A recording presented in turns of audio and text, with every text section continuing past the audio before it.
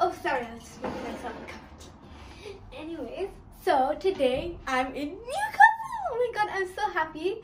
I'm at my hotel right now, and as you can see, there's this little like bar thingy.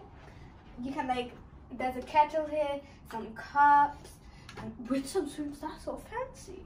And then these are some, you know, milk and stuff. These are the cords.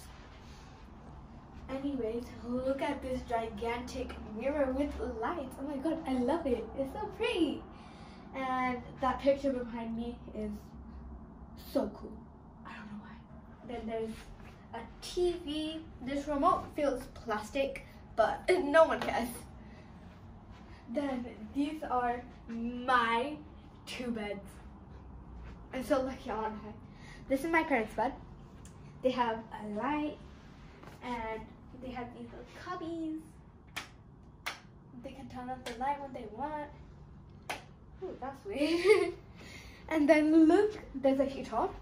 And then that fantastic view. Oh my god, isn't it gorgeous? This place is wonderful. This is why I think we should settle here. Anyways, I need to get a rest because it's it was a five hour here and hangers, pillows, fan. Okay, and there's yeah, okay. This is the bathroom. It is absolute. So I'm gonna take a rest now, but you can follow me on my journey if you keep watching my videos. But I'm I need a rest right now because it's a five hour journey journey. So yeah, see you in the next video. Bye!